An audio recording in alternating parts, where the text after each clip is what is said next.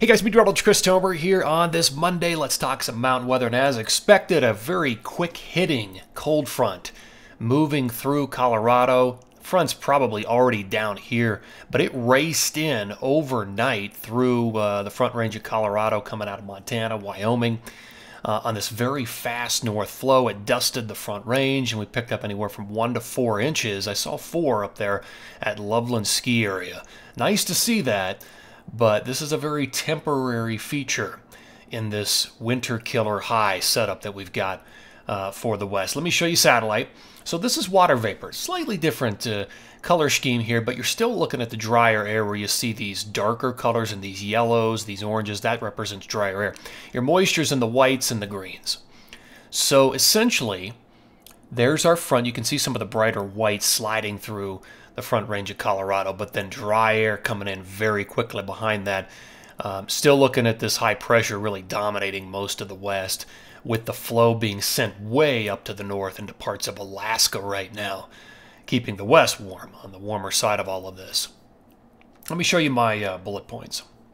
Here's what I'm expecting. Now, overall, things versus yesterday took a, a drier turn. Um, and you'll notice that right away with some of these numbers, a drier turn, unfortunately. So we've got the winter killer through 22nd, the high pressure, um, and this fast north flow. And we saw the evidence of that this morning. Now there is one cold front. It looked like in the last couple of days we might have two cold fronts during this 23, 24, 25 time period. Now it looks like it's mainly going to be one. Now it will bring in colder air, and it will bring in some snow, but it doesn't look as robust as it did um, the last couple of days. Uh, so that's still on the menu, but I had to curtail, or not even curtail, but just shave some of the numbers way down. You can see it here in the 15-day snow forecast. Mammoth, one inch. That's it for 15 days. Vail at six, so that's down. Snowmass at 10. Park City, Alta both down, way down. Three, maybe four inches over the next 15 days if this holds, if this pattern holds.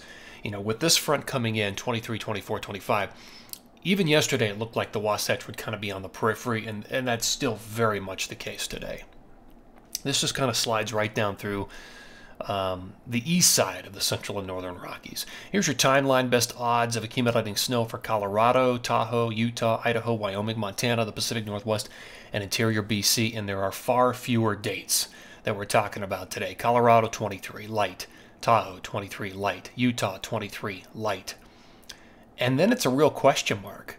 I, I just don't see anything else down the road there through the end of the month. Um, Idaho, you've got a couple of lights, lights Wyoming, lights Montana.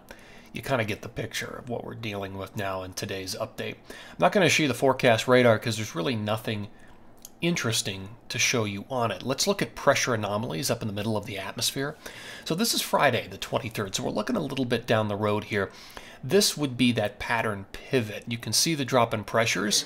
So on this particular type of map, when you see the oranges and the reds, um, that's your that represents higher than normal pressures. Where you see these blues and these greens, those are lower than normal pressure. So that's a drop in pressure across the west on the 23rd, and that represents the colder, the snowier um, potential change there. But look what happens by the 26th. It's like it didn't even exist. We're back to uh, higher than normal pressures across the west. And you might recall that this is what AI was really hinting at over the last few days, that it would be a quick bounce back to higher than normal pressures. And it looks like that might be the case. Um, this is the 28th, so even further out, and my goodness, we've really built the pressures up even more across the west. So it has taken a drier turn, um, most most certainly in this forecast. How are we looking as far as the contrast for the 26th? So there's your operational. AI over here has a little bit of a weakening to the northern Rockies, but still has a lot of high pressure. I mean, there's nothing really dramatic that jumps out as far as, wow, that's going to be a cold, snowy pattern at all here. I mean, this, in both cases, is trending more towards higher pressure. Let's look at the, uh, the nine-day total precip as if everything fell as rain. I'm going to let this animate all the way out through the end of the 27th, uh, into the 28th. And notice, I mean, you're really looking at a protective bubble essentially right here with high pressure. Yeah, some of the flow towards the end on the 23, 24, 25 time, time frame does bring in some precip to the Pacific Northwest and also down through Montana, Wyoming, and into Colorado, but there's very little in Utah through that time frame. Here's nine, eight, nine day uh, total snow, 10 to 1 ratio. Uh, again, there's not a lot here. Deep purple's at least six inches. Bright pink would be at least a foot. There's a little in Montana, a little in Wyoming, more in Colorado, very little, if anything, in Utah, and really nothing of significance across Oregon, California, Nevada. Let's look at the southwest vantage point. So total precipitation, eight or nine days total. So by the end, it does start to draw in precip out of the southwest around the 23rd, 24, 25 time frame, and that does appear to feed some decent moisture into southern Colorado and even New Mexico. So that'll be interesting. That does play into the forecast. Here's the AI snow plume. Uh, Berthoud Pass, Colorado, and Jackson Hole, Wyoming. This is a 10 to 15 day forecast, so these are these would be grand totals according to our AI model here by the end of February 2nd about four and a half inches over Berthoud Pass, about eight and a half inches for Jackson Hole. That's it. Most of it falls after the 23rd on Berthoud and essentially after the 25th in Jackson Hole. So that's pretty sobering. Um, here's my official forecast. So today through the 22nd, fast north flow, and what you see in Colorado basically just happened early this morning. So that one to two inches is accountable. It, it's it just happened. Uh, I mean, look at this. It is just striking to be able to sit here and say there is absolutely no snow for that corridor, that western corridor. Um, let's go to the 23rd through the 27th, and this has always been the most promising period. But even this period between 23 and 27 has taken a drier turn where we had 10s and 12s. Yesterday, now we've got ones in the Tetons. We're down to one or two there across the Wasatch or on the periphery. Uh, interior BC, two, three, four inches. Uh, look at look at Oregon and Washington, and it may be that that corridor just stays too warm.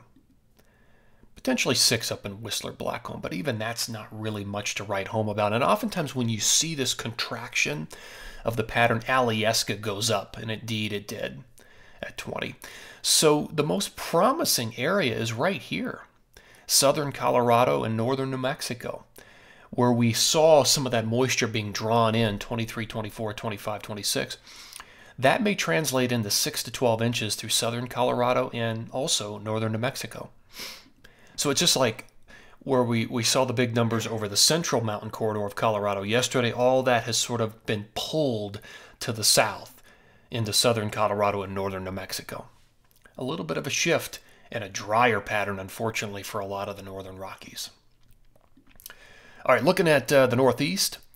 Uh, so I, I, talked about this yesterday, how there was that one big swath of snow with that storm, and it would likely shift, and it has.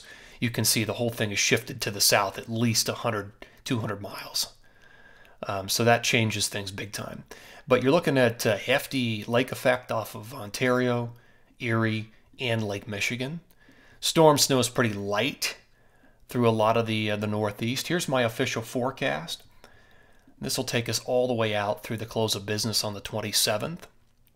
6 Jay Peak, Tremblant, Whiteface, a foot at Snow Ridge from Lake Effect, 6 over Mount Washington, and then everybody else is sort of in the 3 to 5, 3 to 6 inch category there through the Northeast. But it stays cold. That's one of the positives. Um, okay, let's end on the big Western maps here. So again, today through the 22nd, this is already accountable. Um, and then the final is 123 through 127. Still holds the most promise, but um, things have shifted since yesterday. Guys, thanks for tuning in here. Always appreciate it. Take care and have a great day.